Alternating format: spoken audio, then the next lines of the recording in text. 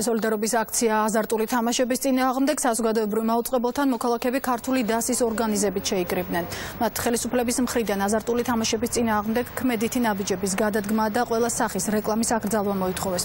აქციის ერთ-ერთი ორგანიზატორის თქმით, მისი და საზოგადოების ინიციატივით აზარტული თამაშების აკრძალვის შესახებ პარლამენტში უახლოეს მომავალში საკანონმდებლო პროექტი შევა. ბოლო სამი თვის განმავლობაში, იმიტომ რომ ფული წააგო და ვერ გადაიხადა, 17-მა ახალგაზრდა ადამიანმა მოიკლა თავი ბოლო სამი თვის განმავლობაში და ყოველთვის აზარტული თამაშების ზურს უკან დგას დიდი რაოდენობით შავი ფული და ეს დიდი რაოდენობით შავი ფული ნაწილდება კორუმპირებულ ჩინოვნიკებში. ჩვენ შევდივართ პარლამენტში მოთხოვნით რომ საკანონმდებლო ინიციატივით რომ აიგზალოს აზარტული თამაშები. ეხლა არის საუბრები რაღაც რეგულაციებზე.